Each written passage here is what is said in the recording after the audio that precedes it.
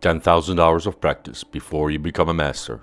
This is something that is said quite often to students and people who want to master a subject. The same is true for cybersecurity. But where do you practice? If you practice out in the real world, you're bound to get into legal issues. But fear not, we have a solution.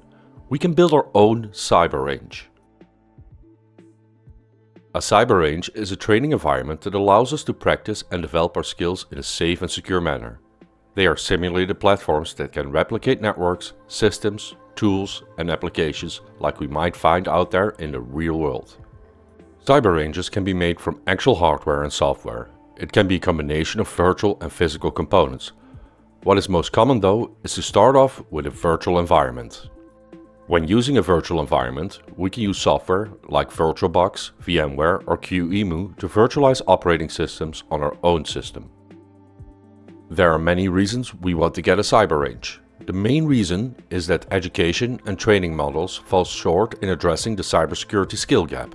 Hands-on experience is pretty much required to advance. If you're an employer, it allows you to assess and track training and performance of your professionals. In this video, we will look into setting up a virtual machine cluster that is both cheap to run and cheap to buy.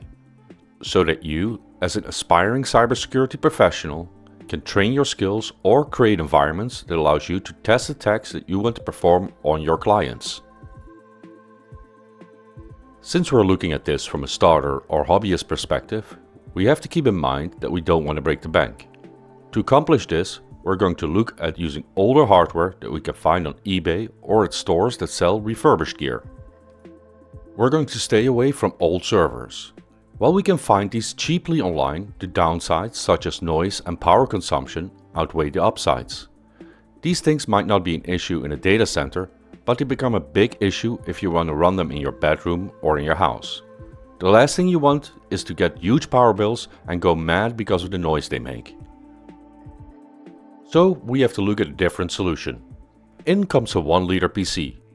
Designed to be run en masse in an office environment, they are quiet, power efficient and the most important part for us, cheap. If you have some old PCs, you can also use these for your cyber range. I hear you think now, but they aren't as powerful as a server or a desktop. Don't worry, with the way we're building our cyber range, you will see that our big limitations will be the RAM that our mini PCs contain. Even if the system doesn't come with a ton of RAM, we can easily replace them relatively cheaply. Just make sure you factor in those costs when buying them. PCs? Yes, plural. We are going to get multiple of these machines that we will set up in a cluster, so that resources can be shared between them and if configured correctly, we'll even be able to do failover in case one of the machines goes down. We have bought two of these machines, each containing 6 cores, 16 gig of RAM and 256 gig of NVMe storage. This has cost us under 300 US dollars. We are going to run Proxmox on the machines. This operating system allows us to easily install, configure, run and remove virtual machines. Proxmox allows us to cluster machines together to create a larger environment. With Proxmox, we don't even need to have similar machines. As long as the CPU supports either Intel VT or AMD V.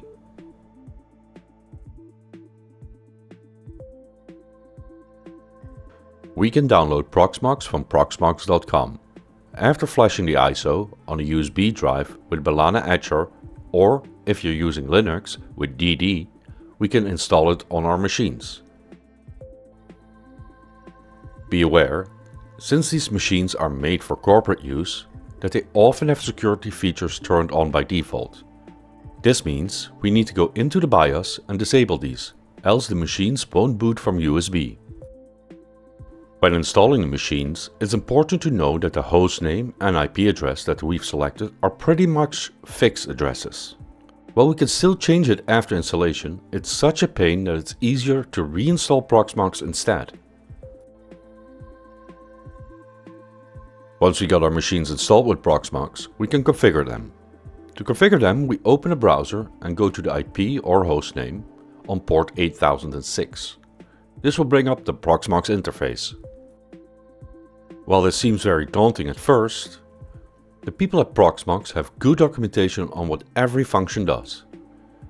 Since the machines are not just separate machines, the first thing we want to do is set them up so they act as a cluster. To create a cluster, Proxmox recommends using three devices. This is because of quorum. Quorum means that within the cluster, the Proxmox machines vote on what to do and with two machines it's always a draw.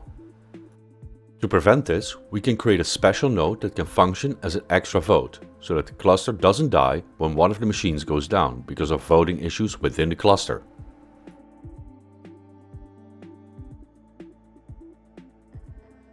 Once we have our machines set up that need to join the cluster, on the first machine we click on the data center button on the left side. On the menu that pops up, we click on create cluster. There we define a cluster name and select the network connection that we want to use. Most of the time the default network will suffice. We have to keep in mind though that the Corosync process needs to have a latency less than 5 milliseconds. This means that we don't want to do any live migrations or access storage over this network. To deal with this issue, we can set up a secondary NIC. Now that we've created a cluster with a single node, it's time to add other nodes to it. To do this, first we have to get the join information from the cluster we just created. To obtain this information, we can click on the join information button in the cluster menu. We copy the large string that is in there. If you can tell me how the string is encoded, tell me in the comments. It should be an easy one for web application testers. Now that we've copied the string, we go over to the control panel of the Proxmox machine we want to join to the cluster. There we go to the same menu, Data Center, Cluster, but instead of selecting Create, we click the Join Cluster button. A form will pop up with several fields. We can paste the string we've copied earlier in there.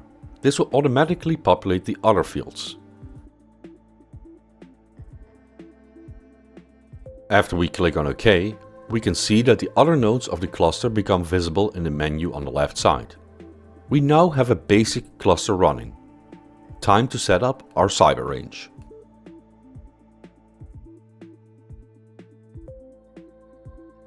The first thing we want to set up in our cyber range is a new network. We want to create two zones that simulate a corporate network and one zone that is secluded from all networks. The secluded zone we will use for malware research. The first thing we will set up is the simplest, the malware zone. In this section of the network we want to be able to analyze malware. To do this we need to segment the network so our local network is protected from whatever scary things we want to run inside the zone. We also want to limit the internet access, so that nothing is able to reach out and possibly phone home. After that, we're going to configure our basic corporate network. For this, we're going to set up two networks, one DMZ and one internal corporate network. Let's focus on the network for malware research first. To set up a network, we select Data Center and then we scroll down in the menu and select SDN which stands for Software Defined Networking. In this menu, we can create virtual networks. The first thing we have to create is a zone. When we click on the Create button, we can see several types. Since we want it isolated from the rest of the network, we select VXLAN. This creates a tunnel on top of the network that exists between our nodes. In the menu that pops up, we have to fill in two required fields, the ID and the peer address list. The ID can be a name with up to 8 characters and the peer address list are the IPs of the nodes that we want to use in our VXNet. Let's create a name like Melnet and use the IPs of our Proxmox nodes that we have created. When we click add, we see it appear in the list. Once we have created our VXNet, we go back to the SDN menu and click the apply button. This will propagate the networks across all the nodes in our Proxmox cluster. Now that we have our zone, we can go on assigning a subnet to our zone. To assign a subnet to our newly created zone, we navigate to the VNet section. There we click the Create button and create a VNet for the Melnet zone. The menu only requires two items, the name and the zone that is used. We can also assign a tag. This tags the VLAN. Let's set this tag to something like 10,000. These tag numbers are so high that they aren't usually supported in real network gear. Now that we've created the VNet inside the VXLAN, we can assign a subnet to our VNet. If we highlight our created VNet, we see on the right side that we're able to create a subnet. When we click the create button, we only need to add a gateway and an IP range in CIDR format. The gateway is usually the first IP in the CIDR IP range we've made. This also seems the place to add a DHCP provider by setting an IP range. But be aware that the free version of Proxmox does not yet support this function. Now that we added the subnet, we go back to the SDN and click the apply button. This will again propagate the settings throughout our cluster.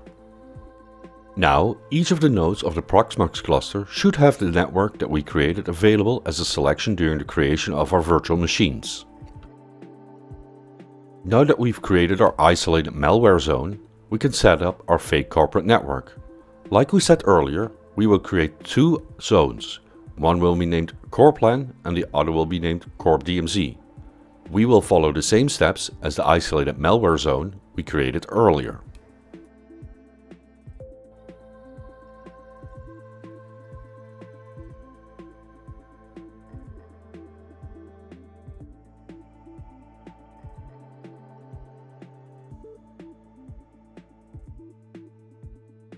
Let's set up some virtual machines. The first virtual machine that we want to set up is a firewall for the corporate network. For this we will download pfSense. We can download the pfSense ISO from the pfSense website. pfSense is an open source firewall that is very versatile. Once we've downloaded the ISO, we need to transfer it to the node that we want to install pfSense on. To do this, we click on the local storage of the node. When we click on it, we can see that we can either upload the ISO image directly from our system to the node, or we can have Proxmox download the ISO from the internet itself.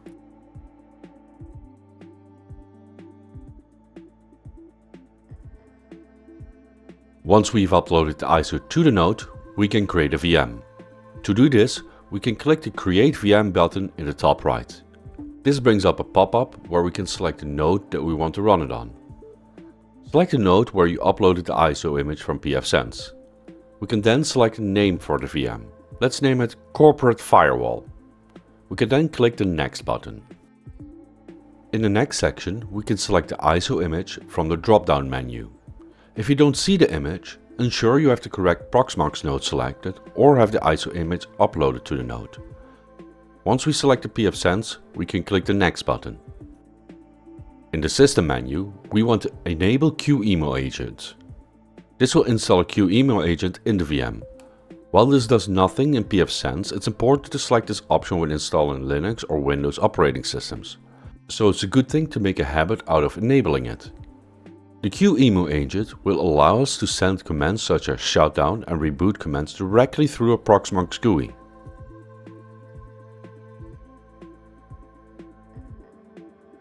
After clicking the next button, we can now change the storage location and the disk size. We advise to make the disk size not too large for most of your VMs. If the VM only requires 2GB to run, do not make it a 32GB, since Proxmox will reserve the 32GB for your drive and it's easy to run out of storage that way. For pfSense, we'll set it to 3GB, because that should be enough to run it. In the next window, we can select how many sockets and cores we want to assign to the VM. The same with the storage, don't give it too many CPUs because you will limit yourself in how many VMs you can run efficiently. The following section is the memory section. It allows us to assign memory. In this VM, we only need 1GB, so we set it to 1024, which is 1GB of RAM.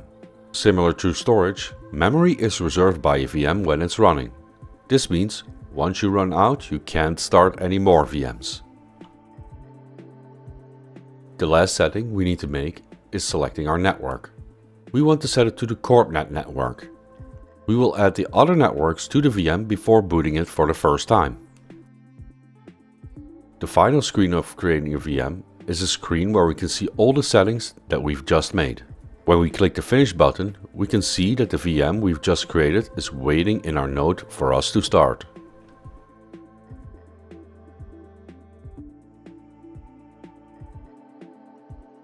Now it's time to add the other networks to the pfSense VM. We can do this by clicking on the VM name in the left menu. This will display the features of the VM. If we then select the hardware section, we can add extra hardware to the VM we want to add two extra network cards to the VM. Since we already added the corporate network, we want to add the DMZ and the normal network.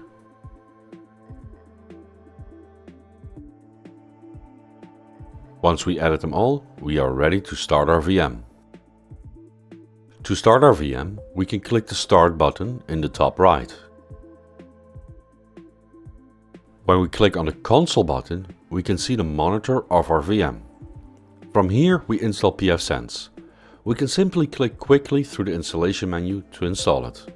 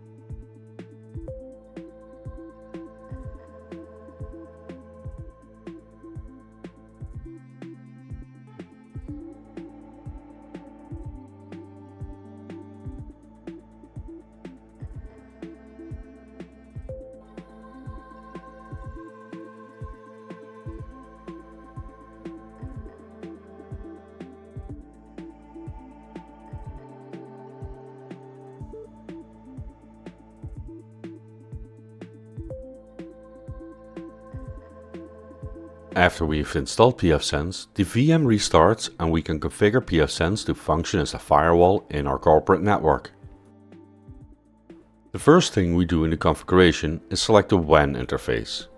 We set the public network bridge as our interface. We can see which one of the interfaces we need to select based on the list in the hardware section of the VM. We then add the other interfaces we've added to pfSense.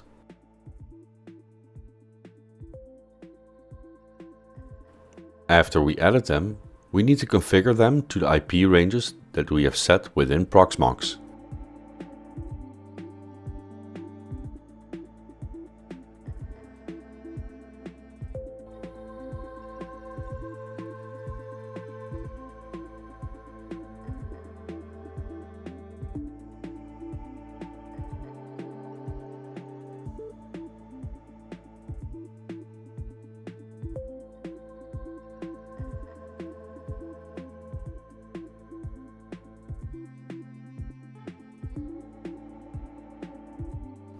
Once we have configured this, we have a basic network running. The next step is to configure the DMZ address to actually be a DMZ. To do this, we need to log into the pfSense interface and configure the DMZ.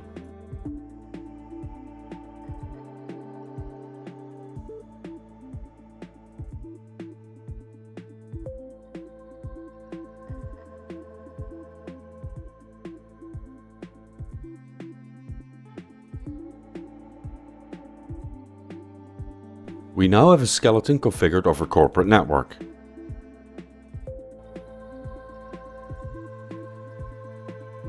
This is where we leave it for now. We have a base corporate network in our cyber range, but without any machines installed inside of it.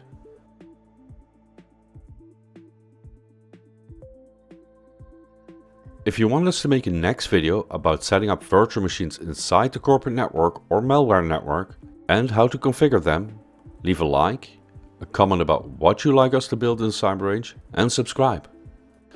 Thank you for watching and hack ethically.